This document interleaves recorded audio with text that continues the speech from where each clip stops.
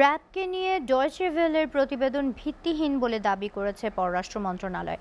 তারা বলছে র্যাবকে কখনোই রাজনৈতিকভাবে ব্যবহার করা হয়নি। দুপুরে পররাষ্ট্র মন্ত্রণালয়ে আয়োজিত সাপ্তাহিক মিডিয়া ব্রিফিংয়ে মন্ত্রণালয়ের জনকূটনীতি অনুবিভাগের মহাপরিচালক সেহেলি সাবরিন একথা বলেন। তিনি আরও বলেন, প্রতিবেদনটিতে র্যাবের বিরুদ্ধে গুরুতর মানবাধিকার লঙ্ঘনের বিষয়ে অভিযোগ তোলা হয়েছে।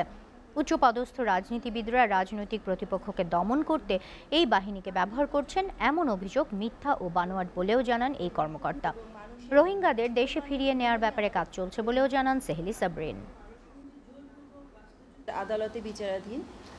আমরা মনে করি যে কোনো দেশের আভ্যন্তরীণ বিষয় নিয়ে মন্তব্য করা আমাদের সমীচীন নয়। জার্মান ভিত্তিক সংবাদ সংস্থা ডয়েচভেলে যে প্রতিবেদন করেছে, র্যাব দেশের নিরাপত্তার স্বার্থে কাজ করে করে যাচ্ছে এবং কোনো রাজনৈতিক উদ্দেশ্য হাসিলের জন্য র্যাবকে ব্যবহার করা হচ্ছে না, এ ব্যাপারে আমরা নিশ্চিত। বাংলাদেশ এবং মিয়ানমারের মধ্যে প্রত্যাবাসন সংক্রান্ত চুক্তিসমূহ অনুসারে বাংলাদেশ রোহিঙ্গাদের প্রত্যাবাসনের চেষ্টা করছে।